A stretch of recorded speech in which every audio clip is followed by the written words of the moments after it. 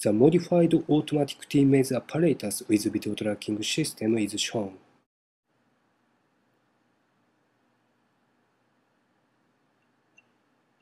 This apparatus is constructed of white plastic runways with 25 cm high walls.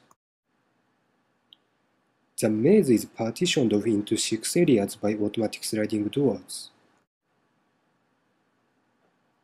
Area S1 is the start compartment, S2 is the stem area of the T maze. A1 and A2 are the left and right arms respectively.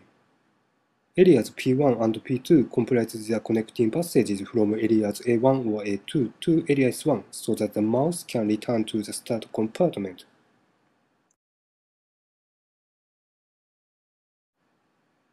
The doors automatically open downward.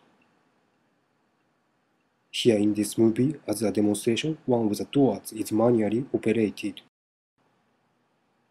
This improved apparatus allows us to use in vivo microdialysis, in vivo electrophysiology, and optogenetics techniques during T-maze performance.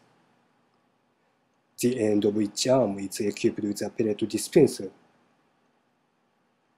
A cross pellet is used as a food reward.